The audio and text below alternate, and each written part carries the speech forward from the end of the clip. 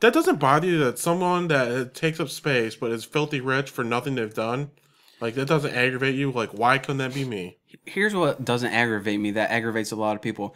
I don't have a problem with Kim Kardashian being rich because if she's rich or if she's poor, it has nothing to do with me. You know, No, could I don't care. I don't care about that. It's the way you got rich and you're still making money from doing it is what bothers me the most. Like she's contributed nothing to the society. She hasn't done anything to make anything like more important in life or done anything to improve life for someone else or done any I mean, I know a lot of people that are rich really don't go out of their way to like make like it's just the way it is. But I mean, I don't know. If I was rich, I would I wish I would get rich by doing something that helped Yeah. people in some shape, way, or form, or improve someone's way of life by making this or doing something cool technology wise and be like, wow, he made that. That's wicked cool. Yeah, like a medicine or a discovery or something like a, a microwave to make your life easier. Everything I- like Bill Gates, he stole my thunder. I was gonna do Microsoft. then it was Facebook with Mike Zuckerberg. He took that idea away from me. Then YouTube got pulled away from me. It just it never never ended for me.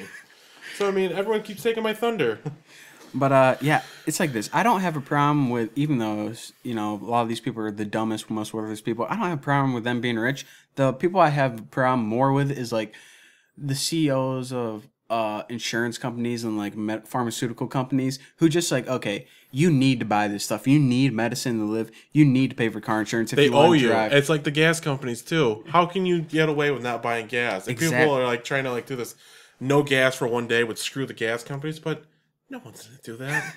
For real, unless you have like a wind up car or an electric car, but I mean they they make electric cars limited amounts so people want more and then after that they are like on like a list forever to get one and then you just like oh, I don't have time I need a car now so you buy some gas guzzler and then you go back right back to where you started. That's the way it is. It's um, annoying. yeah, that's what annoys me more. Like the people who are like blatantly taking advantage of other people, like Kim. Oh Kardashian. yeah. like Paris, like Kim Kardashian. She's not like, uh, trying to scheme anyone out of their money. No, it, no, not at all. It's just like what would you do if you're Kim Kardashian? You're probably I'd probably marry a football player and then divorce him. Yeah, And then I mean, go to a basketball player and then act like I was in love with him, then divorce him.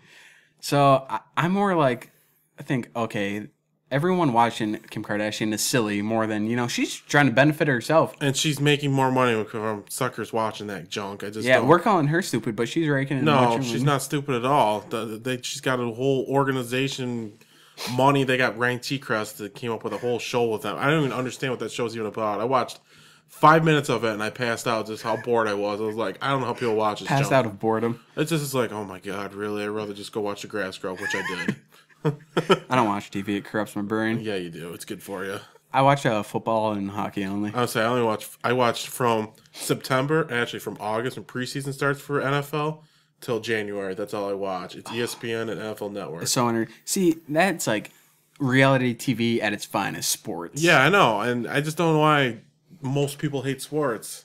Most like women people- hate sports. Man, some people are like super anti-sports, but like competition. We shouldn't have competition. Well, then they bring in the whole swag. They're like, oh, they're all criminals and Yeah. blah blah blah. I mean, you're gonna get criminals in anything you play, but I mean, it seems to be more prominent in like football, baseball. Baseball's more steroids, but Yeah. you can make that argument with football too. Are you kidding me?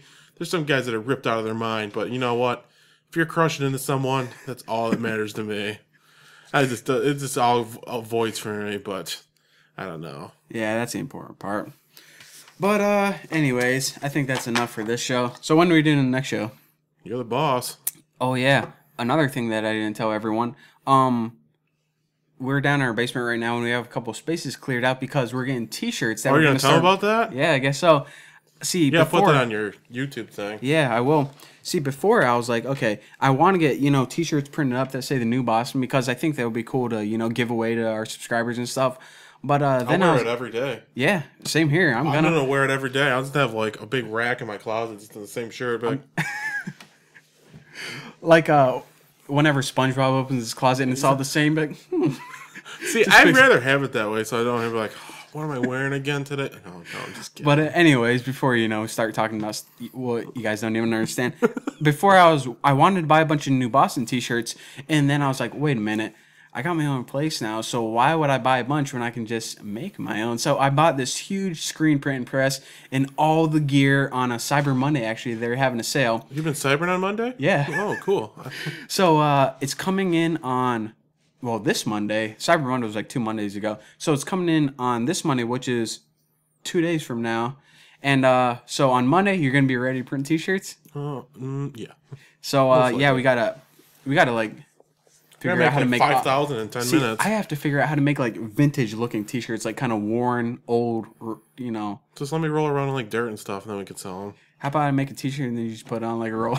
you just have to wear it for like. I'll wear it for a day, and you'll be set. But if we want to mass produce it, we're gonna have to print like ten. You're gonna have to wear like ten T-shirts. Challenge accepted. like wow, that looks really worn. This Oh, is really is. authentic looking. oh god. But uh, yeah. Anyways, the point of the story is soon enough, probably in I want to say a week from now, we're gonna have an awesome set of T-shirts to give away. They might be a little crappy at first, but you know we're gonna get better at it. I'm actually really excited Yeah, for it. too. I just want clothes to wear. Yeah, a long time ago, I had a business, Blue and White Lawn Care. It was my first business ever. I remember that. You And, uh, lawns with you. Yeah, and uh, I used to have T-shirts printed up, and ever since then, I'm like, that would be really interesting to do. And uh, but you know, I had an apartment. Then I moved to North Carolina, and I had like ten by ten room. I'm like, yeah, you can't put stuff in here. It's way too much work. So now I had a, got a whole bunch of space, and I'm like, yeah, start printing them up. So that's what we have to give away. So we probably should do it. I don't know if I'll do it on like a video on another podcast or what, but I'm excited. Probably. So, anyways, we'll end it at that. So, thank you guys for watching. In uh, let's see, what else I gotta say? You want more people to subscribe. Yeah. You're gonna definitely want to subscribe more since I'm on the Oh, show. I didn't tell you this. Do you know a YouTube EDU?